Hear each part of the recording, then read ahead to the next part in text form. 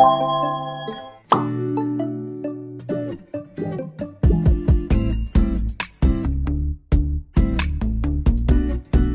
you so much, Yestal, for collaborating with me in this video and I'm just really grateful for the opportunity.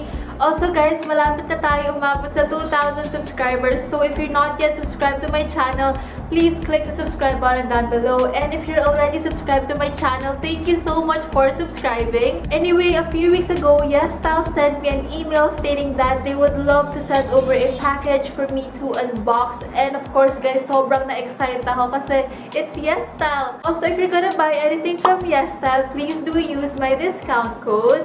The package that they sent me is this Insakit Volume 1 Spring Edition box. So this one retails for 74.90 US dollars.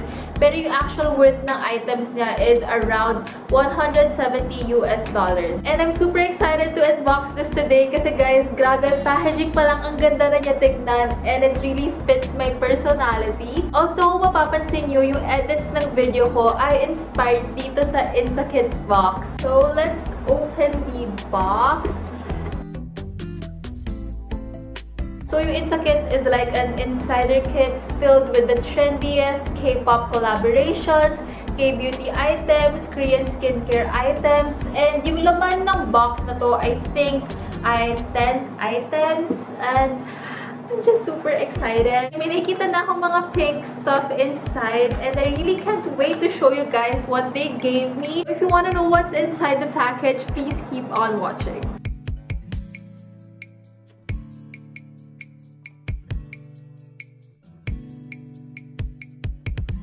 It's my first time to receive a package like this. But anyway, the first item is this dried Polak snack from the brand Halobay. And actually, first time ko lang napakinggan tong brand na to. Feel ko para to sa mga nagda-diet kasi you won't really feel guilty kapag naubos mo to in one sitting. Also guys, the flavor that they gave me is this spicy flavor. The second item is this VT BTS Stay It Twin Eyeshadow in the shade Bronze Coral. So I think this is in collaboration with the K-pop band BTS. It kind of reminds me of the Kaja Cosmetics Beauty Bento. Pinagkaiba lang nato is that the packaging is rose gold. Pero inside yan, you also have a mirror and then two shades ng eyeshadow. The first shade is like a gold shade. Also, very creamy yung texture niya. I thought it's gonna be a bit powdery. Parang cream siya. And oh my god, ang ganda ng pigmentation. And you know that I really love putting on glitter on my eyelids. So I really can't wait to use this one.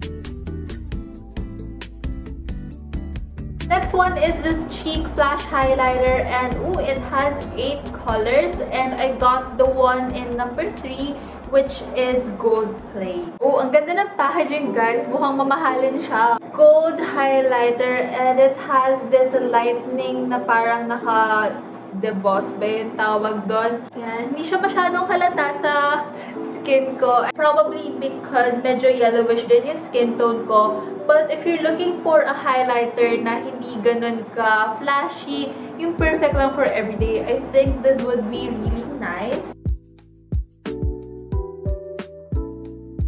The next item is another K-beauty item and it's the Peach Sea Easy Matte Lipstick in the shade Spring Coral.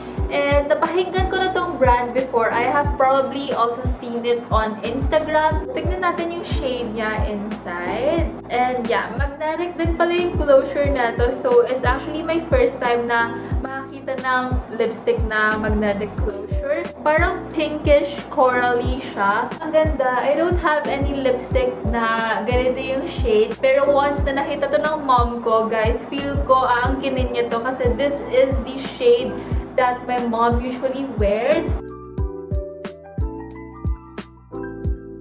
The next item is another collaboration with BTS and it's this BTS contact lens case. And ang ganda niya because, you know, it's color pink. And inside, you have a photo card. So, uh, hindi ako masyadong fan ng BTS. So, hindi ko kilala kung sino siya. Inside, you have a contact lens case. Yung case itself. And then, Dapat may chani dito pero hindi ko alam bakit wala siyang chani. If wala kang contact lenses, you can also put some Polaroids inside, yung mga Instax films mo. Ang dami dito sa package na to, color pink. And you know, just very cute items.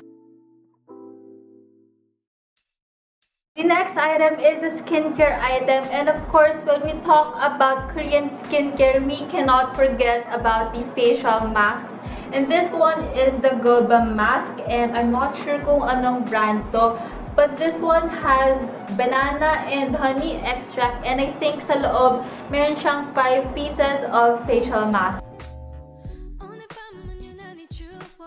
The next skincare item, actually one that I am very excited about is this Snail Shoe Seacom Miracle Repair Starter Kit from the brand Some By Me. So, Some By Me is a very famous skincare brand in Korea. You might have heard of them because of their Miracle Toner. But yeah, they sent me this package and ang tagal ko nang gustong bilhin neto. Hindi ko lang siya binili before kasi naisip ko na ang dami ko pang skincare na hindi nagagamit.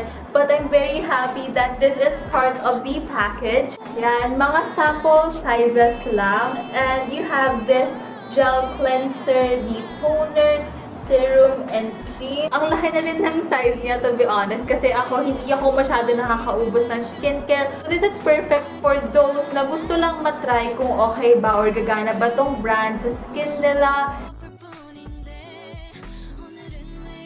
We also have this Easy Hair Dry Brush from the brand APU and I think it works best if you have very tangled hair.